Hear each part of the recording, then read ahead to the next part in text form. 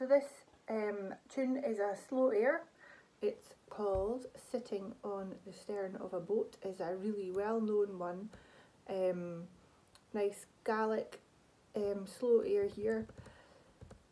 It can be made quite complicated so I'll play it to you once um, with lots of stuff in and then I'll play it to you again just nice and simple with the tune and no extra things so that you can learn the notes. So here we go.